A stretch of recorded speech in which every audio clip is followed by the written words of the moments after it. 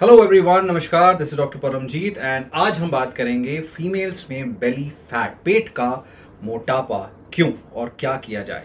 Expanding waste line अगर आपकी भी है तो कई बार ये उम्र के साथ फीमेल्स में आ जाता है मीनोपॉज के बाद आ जाता है, क्योंकि मीनोपॉज के बाद कई बार उनका जो फैट प्रोपोर्शन है, वो पेट में शिफ्ट होने लगता है। रिसर्च ने ये बताया है कि अगर आप मोटे हो रहे हैं या फिर आपकी जीन्स की पैंट की जिप ऊपर जाने में मुश्किल होने लगी है बेसिकली आप मोटे हो रहे हैं तो वो belly fat serious health risk produce करता है आपके लिए बहुत ज़्यादा सीरियस बीमारियाँ के तरफ़ लेके जा रहा है लेकिन अच्छी बात है कि ऐसा नहीं कि उसके लिए कुछ नहीं किया जा सकता बेली फैट कम भी किया जा सकता है किसी भी उम्र में।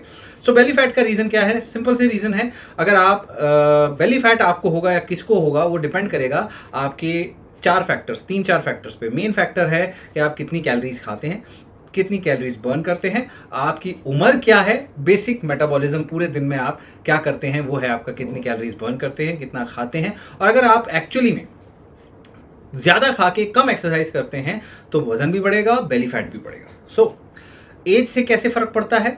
मैनी वीमेन ज़्यादा फीमेल्स में बेली फैट उम्र के साथ साथ आने लगता है और इवन uh, इफ़ अगर वो वज़न नहीं गेन कर रहे तो फिर भी क्योंकि उनके शरीर में ईस्ट्रोजन लेवल कम होने लगता है विच एक्चुअली इन्फ्लुएंस करता है जो फैट के डिस्ट्रीब्यूशन को। इस वजह से उनके पेट में फैट जैसे आदमियों के पेट में ज़्यादा फैट होता है, वहाँ पे भी आने लगता है, उम्र के साथ फीमेल्स में आने लगता है। ये टेंडेंसी जो है टू गेन और carry weight around the waist इसको हम एक एप्पल शेप बोलते हैं। And apple rather than a pear shape it can also be a genetic component genetically कुछ फीमेल्स में ईस्ट्रोजन लेवल कम टेस्टोस्टेरोन लेवल ज़्यादा होने की वजह से ऐसा हो सकता है। वो ऊपर नीचे हर एक का फिक्स नहीं होता है एवरेज रेंज में रहता है, किसी का थोड़ा कम, किसी का थोड़ा ज़्यादा। सो मसल मास जो है, उम्र के साथ कम होती है फैट मास बढ़ता है लॉस ऑफ़ मसल होती है। बिकॉज़ ऑफ़ दैट भी आपकी कैलोरी जो यूज़ हो रही है, जितनी मसल आपके अंदर कम होगी डे टू डे बेसिस पे उतनी एक्टिविटी करने के लिए आपको एनर्जी कम लगेगी। तो उतना ही अगर आप खाना कम नहीं खाते हो तो वेट बढ़ेगा। है ना? क्योंकि नेट डेफिसिट और ज़्यादा कम हो जाएगा आपका डेफिसिट नहीं और ज़्यादा आपका डेफिसिट करना पड़ जाएगा।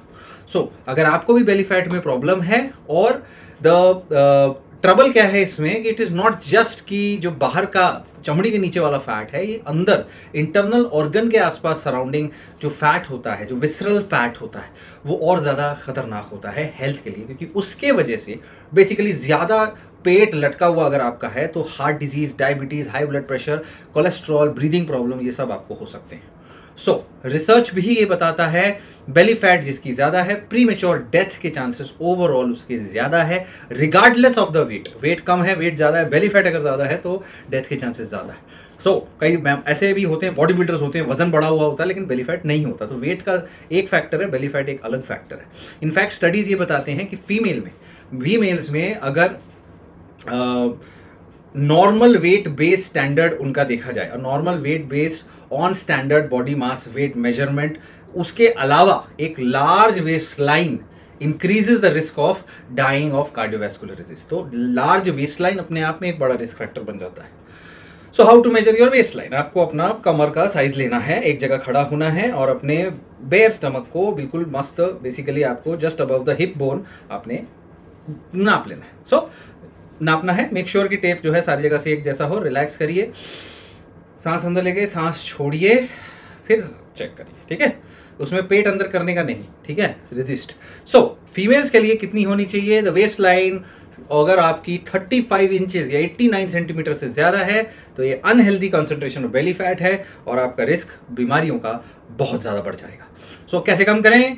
आपका ज़्यादा है तो you can tone abdominal muscles with crunches अगर आप सोचते हैं कि पेट की एक्सरसाइजेस करके क्रंचेस करके पेट का फैट कम होगा तो नहीं होता ऐसा।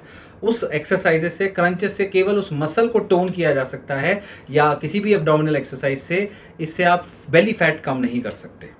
तो विसरल फैट हो या आपका सबक्यूटेनियस फैट हो फैट को कम करने के लिए आपको डाइट एक्सरसाइज एक कैलोरी डेफिसिट में रहना होगा, एक हेल्दी लाइफस्टाइल चुननी होगी और एक्सेस कैलोरीज नहीं खाने होंगे। तब धीरे धीरे जाके ओवरऑल बॉडी फैट कम हो के आपका ये बेली फैट भी कम होगा। याद रखें डाइट इज़ वेरी इंपॉर्टेंट कई लोग 80 परसेंट कहते हैं, कई 70 परसेंट देखिए डाइट का सबसे बड़ा रोल है।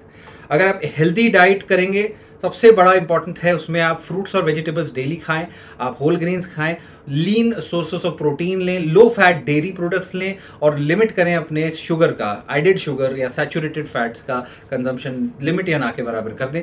राइट वेरी इंपॉर्टेंट और थोड़ा बहुत अगर फैट जो खाना है, वो भी आपका मोनो या पॉली अनसेचुरेटेड फैट्स रहेंगे फ़िश नट्स या वेजिटेबल कुछ प्रकार के vegetable oils canola oils mustard oils वो ज़्यादा अच्छे हैं।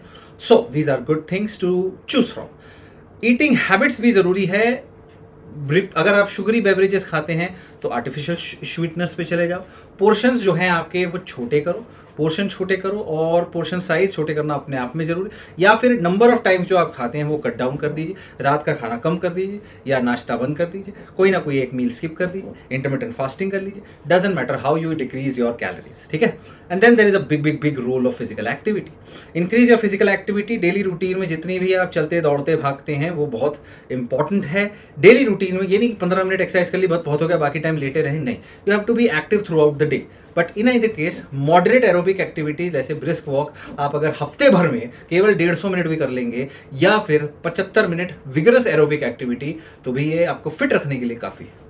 सो स्टेप काउंटर अगर आप लेते हैं तो दस हज़ार स्टेप्स आपको कंप्लीट करने हैं आपको, या फिर अगर आप देखते हैं कि कई बार अगर पतला होना है तो पंद्रह हज़ार स्टेप्स तक भी जाना पड़ता है, ये ध्यान में रखें। स्ट्रेंथ ट्रेनिंग अपने आप में बहुत ज़रूरी है ताकि आप मसल मास अपना मेंटेन कर सकें ग्रो कर सकें and strength training at least हफ़्ते में दो बार आपको करनी चाहिए, और अगर आप मसल ग्रो करना चाहते हैं तो और ज़्यादा बार आप करें राइट तो this is all you need then make sure sure कि आप इसको अप्लाई करें अपनी लाइफ में और इस वीडियो को शेयर करें, ताकि ज़्यादा से ज़्यादा लोग जो हैं अपने आपका भला कर पाएँ। उल्टे सीधे नुस्खे मुस्खे ट्राई करने की ज़रूरत नहीं है। Just follow doctor education and share this video like comment thank you so much stay connected stay health